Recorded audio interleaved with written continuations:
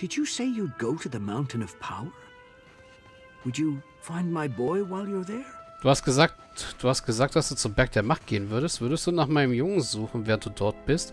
Tatok hält seine Arbeit inne und blinzelt dich an. We send other tithes to the mountain as well. Gold, gems, items of power, if such things interest you.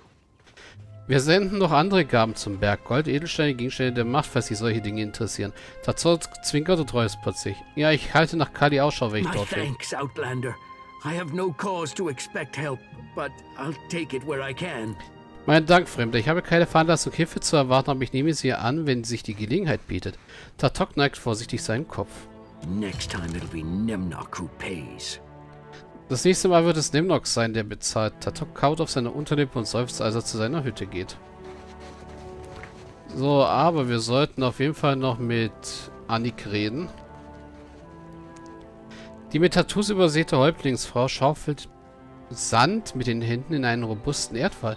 Sie neigt sich nach und bläst hart gegen den, genug auf den Erdwall, dass der Sand sich im Wind verstreut. Ein Lächeln breitet sich auf ihrem Gesicht aus, als eine Brise nach Norden weht. I offer amends for the slight of Tatok, Great One. A gift of breath and wind for his wasted words. Ich bete eine Entschädigung für die Verfehlung Tatoks, o oh Großartiger. Ein Geschenk aus Atem und Wind für seine verschwendeten Worte. Sie öffnet ihre Arme und ruft den nördlichen Horizont an. Schließlich staubt, sich, staubt sie sich die Hände ab und wendet sich dir zu. What do you need, Tundra Cousin? Was benötigst du, Tundra Cousin? Oh, sie sieht, dass ich aus dem ewigen Weiß bin. Ja, gucken wir uns erstmal die Tattoos auf ihrem Gesicht an. Von ihrem Kiefer bis ihre Augenbraue zieht sie ein komplexes Labyrinth aus Tinte. Dir wird schon vom näheren Ansehen schwindlig. Annick, Annick lächelt, als sie dein Interesse bemerkt. When I was born, the Holy Woman told my mother these markings would bring me luck. Als ich geboren wurde, sagte die heilige Frau meiner Mutter, dass, sie diese, Marki dass diese Markierungen mir Glück bringen würden. So far, they bring only more questions. But is that not the nature of faith? So weit bringen sie es nur noch mehr Fra so weit bringen sie nur noch mehr Fragen auf. Aber ist das nicht die Natur des Glaubens? Sie gluckst vor sich her. Was bringt die Enutanik, also boreale Zwerge, so weit von ihren Heimatufern entfernt hierher? Faith, Tundra Cousin. Nur Mutudra-Cousin, sie zeigt ihren Kopf. The elders of my youth told stories of those who crossed the sea by a great land bridge. Now, I tell them to my children. Die Älteren erzählen meiner Jugend, die Älteren meiner Jugend haben Geschichten von denjenigen erzählt, dass die das Meer über eine große Landbrücke überquert haben. Jetzt erzähle ich sie meinen Kindern. The gods opened a path for us, and we trudged forward, spurred by inviting whispers carried over the horizon. Die Götter haben uns einen Pfad eröffnet und wir sind vorwärts gestapft, angetrieben vom einladenden Geflüster, das über den Horizont getragen wird. Sie liegt in Richtung des Berges im Osten, im Norden.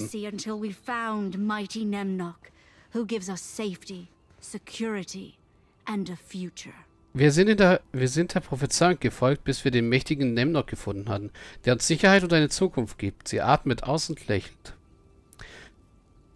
Du und Tatok, ihr habt über Kali Kali gestritten. joined mighty Nemnock in the drowned barrows, against the wishes of his infidel father. Kali hat sich dem mächtigen Nemnok in den ertrunkenen Hügelgräbern angeschlossen, gegen die Wünsche seines ungläubigen Vaters. Anik verschränkt die Arme und blickt über deine Schulter. Nemnock does Kali great honor. Tatok is a fool to think otherwise. Nemnok lässt Kali große Ehre angedeihen. Tatok ist ein Dummkopf, wenn er es anders denkt. Warum nimmt Nemnok deine Stammesbrüder? Nee, ich, weil ich höre, dass Nemnok dein Gott ist. Nemnock is the god of this island and patron of our tribe. Nemnok ist der Gott dieser Insel und Patron unseres Stammes. Anik verschränkt ihre Arme vor ihrer Brust. Nemnock gives life and safety to all Junvik. To feed the barrows with sacrifice is to feed our prosperity. Nemnok verleiht allen Junvik Leben und Sicherheit. Die Hügelgräber mit Opfern zu füttern bedeutet unseren Wohlstand zu nähren. Wohlstand bei Lehmhütten. Ja, warum nimmt Nemnok deine Stammesbrüder? It is not for me to question the will of a god, nor is it any business of yours. Sehr freundlich. Es steht mir nicht zu, den Willen eines Gottes zu hinterfragen, noch ist es deine Angelegenheit. Sie runzelt ihre Stirn und sieht dich warnend an. Kali was blessed to be taken. May we all be as clever and beloved as he. Kali war gesegnet, dass er angenommen wurde. Mögen wir alle so stark geliebt sein wie er. Du hast vorhin etwas über Nemnox Abkommen gesagt. In exchange for our obedience to Nemnox laws, the Mighty One guarantees our safety and plenty. Im Austausch für unseren Gehorsam gegenüber Nemnox Gesetzen garantiert der Mächtige unsere Sicherheit und unser Wohlergehen. Sie legt ihre Hand auf ihr Herz und verbeugt sich in Richtung Norden. One day, all of the Deadfire will accept Nemnox Accord. Na, hoffentlich nicht. Eines Tages wird das gesamte Todesfeuer das Abkommen Nemnox akzeptieren. Zurück zu meinen anderen Fragen. Dann sprich weiter. Sie seufzt und winkt dich weiter. Leb wohl.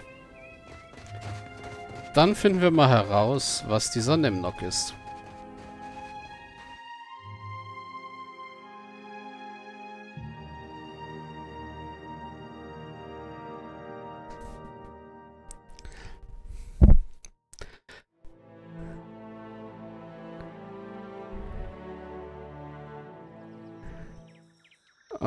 Das ertrunkene Hügelgrab, das sieht ja schon mal sehr freundlich einladend aus. Ein Berg erhebt sich am nördlichen Horizont. Seine Felswand ähnelt einem verrotteten Schädel. Verrotteten Schädel. Geier kreisen in einem mobilen Kranz um seinen Gipfel. Nach Norden gehen. Als du dich dem Fuß des Berges nähert, halt Trommeln aus dem aufgerissenen Mund und den leeren Augenhöhlen des Schädels zu den Augenhöhlen hochklettern. Rissige Steine bieten genug Stellen für Hände und Füße, um bis hoch an den Rücken der Nase zu klettern. Das Widerhallen der Trommel löst den ein oder anderen Stein. Zum linken Auge klettern. Du bahnst dir einen Weg zum Rand des orbitalen der orbitalen Gelenkpfanne. Ein schneller Abhang führt in die Schädelhöhle hinab. Licht funkelt in den Schatten darunter und Stimmen ertönen aus einer sichtbaren Quelle. Man bräuchte das richtige Werkzeug oder einen agilen Schwung, um nach unten zu gelangen. Zurück nach unten klettern, zum rechten klettern. Du navigierst das Gesicht des Schädels, bis du wieder zweimal zwischen den Augenhöhlen stehst. Du betrittst Fe den Felsvorsprung von der rechten Augenhöhle. Ein kurzer Sprung nach unten führt in den Schatten der Schädelhöhle. Zum Grund des Schädels. Ähm, das Trommeln verhallt in der Ferne. Ich könnte den Mund durchqueren. Geh erstmal weg. Du machst dir deinen Weg ohne Probleme. Äh, du gehst de deine Spuren zurück und du bedenkst deine Optionen. Okay, ich mache sicherheitshalber hier einen Quicksave. Nach Norden gehen, den Mund durchqueren. Als du dich dem Fuß des Berges näherst, halt die Trommel aus dem ausgerissenen Wurz. Der überhängende Kiefer und der obere Baum verdecken den Himmel. Ein Echo von Stimmen ertönt aus der Kehle des Berges und signalisiert, dass du nicht alleine bist. Ja, war das die richtige Entscheidung, direkt reinzugehen? Wahrscheinlich wäre die beste Entscheidung gewesen, durch die Augenhöhle zu gehen, wo ich das Seil gebräucht hätte.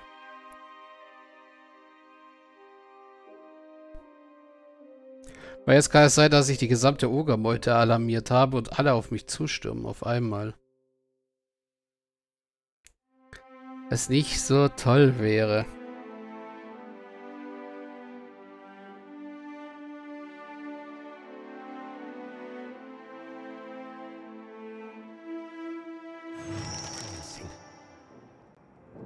Das sieht nicht gerade vielversprechend aus. Wer hat ein Level Up? Oh, wir. Äh, Athletik mal und Überleben.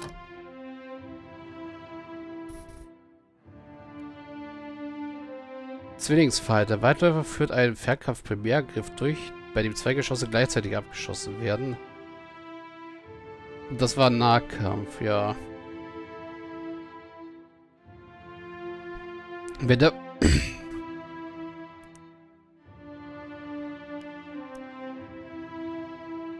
Fingerfertigkeit und Hartnäckigkeit. Hm. Plus 5 Gewandtheit, aha. Nehmen wir das mal. Und weiter.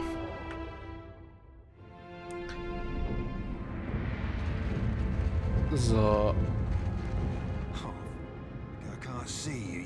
Das ist ein Iote, kein Oker.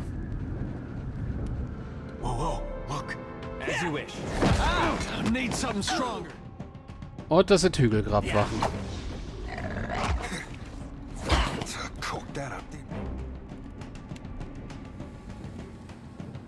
Heilungskette, heilige Einäscherung, stählerne Ermunterung, Entsagung, nö.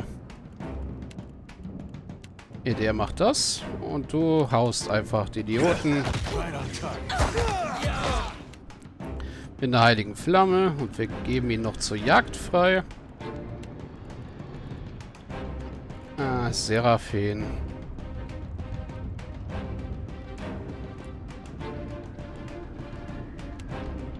Mach mal den da langsamer.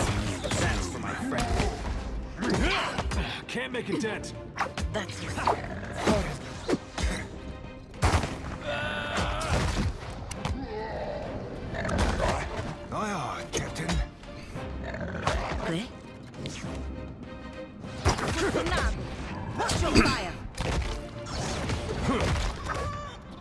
Schreiberhexenmeister, Schreiber okay.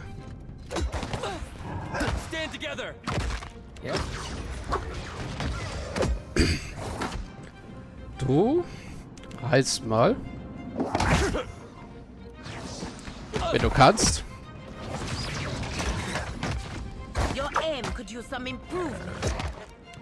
Du heißt dich am besten mal selber.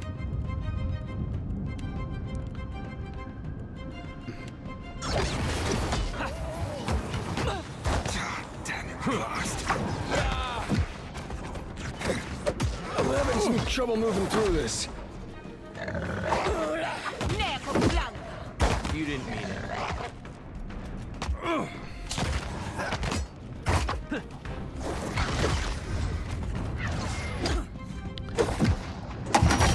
Stand together. Komm, wir laden mal den Spielstand.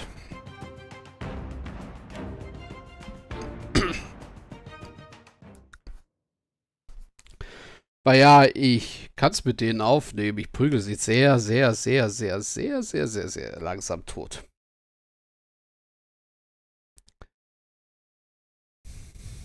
Aber ist es das, was ich will? Was ich eigentlich will, ist ihr Gott.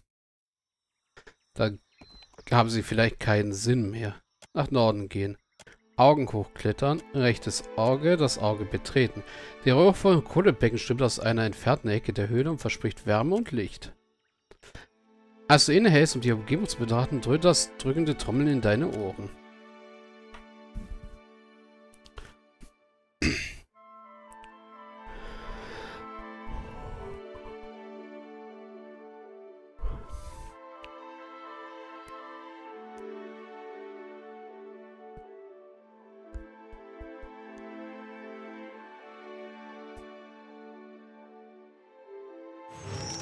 Chart once, but mayhaps on a tattoo. Was hat Serafin gesagt? Denke ich, habe diesen Ort mal auf einer Karte gesehen. Vielleicht war es aber auch eine Tätowierung. Supi. Äh, was sagt das Ding? Ja, genau. Tatok aus dem Junwing-Stein erzählte mir, dass Nemnoks Reich innerhalb des schädelförmigen Berges nördlich von Junvik, nördlich des Junvik-Dorfes sei. Nemok befindet sich irgendwo in den Tiefen des Berges. Wer mir die Sache genauer ansehen möchte, bedeutet das, dass ich bei einem Gotthaus Friedensbruch begehe. Das Volk der Jungweg erzählt sich von Nemnok, einem mysteriösen Gott, dessen Unterschlupf sich tief unter den ertrunkenen Hügelgräbern befinden soll. Nemnok erhält von den Stamm Opfergaben, zuletzt einen Jungen namens Kali. Die Feststellung eines neuen Gottes ist besorgniserregend, um es mal gelinde auszudrücken. Wenn Nemnok nicht lediglich ein neuer Aspekt Scans oder Wales ist, der die Welt an der Nase herumführt, das erfordert diese... Das erfordert diese Angelegenheit Nachforschungen. Okay, komisches Deutsch mal wieder. Eyes open.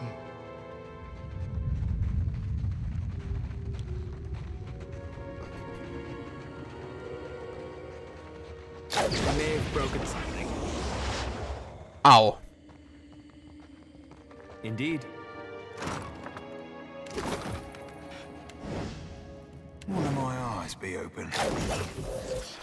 Doppelt Au. Okay.